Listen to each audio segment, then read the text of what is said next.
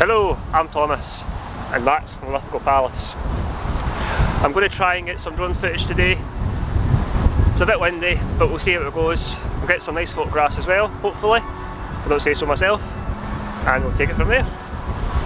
Ciao!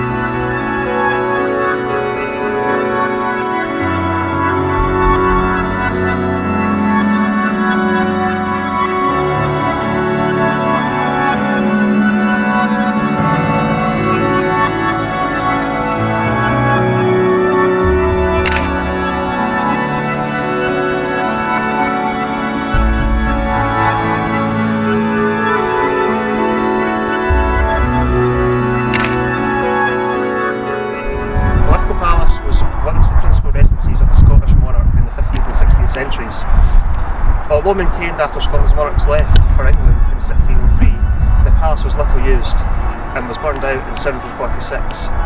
It is now a visiting attraction in the care of Historic Scotland.